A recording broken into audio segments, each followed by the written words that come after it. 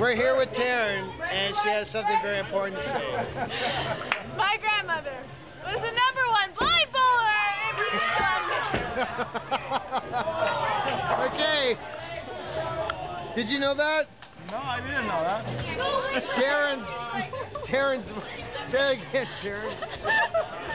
My grandma was the number one blind bowler in British Columbia.